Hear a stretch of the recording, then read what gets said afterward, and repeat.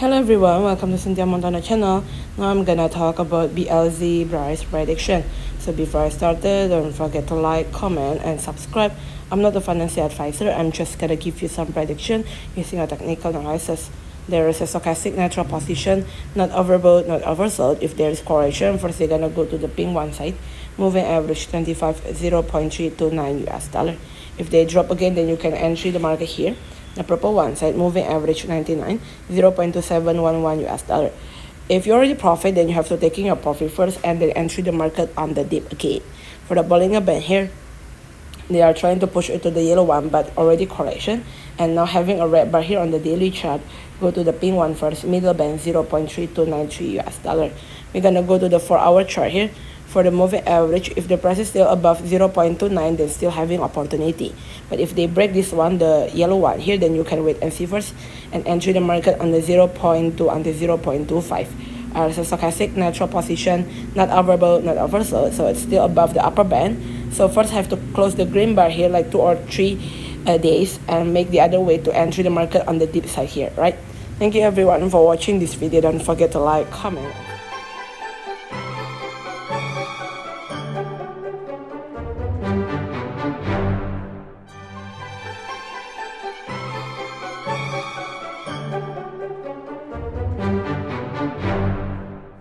Hello everyone, welcome to Cynthia Montana channel.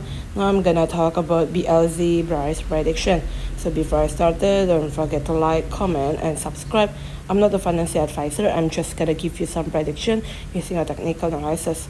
There is a stochastic natural position, not overbought, not oversold. If there is correction, first they're gonna go to the pink one side, moving average 25 0.329 US dollar.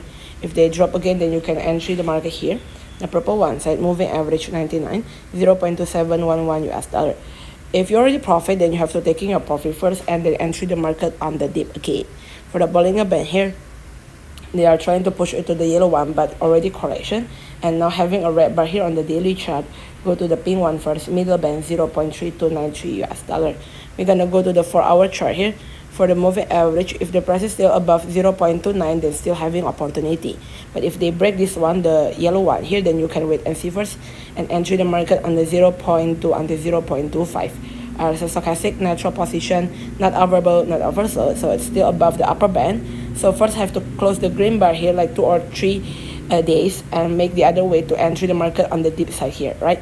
Thank you everyone for watching this video. Don't forget to like comment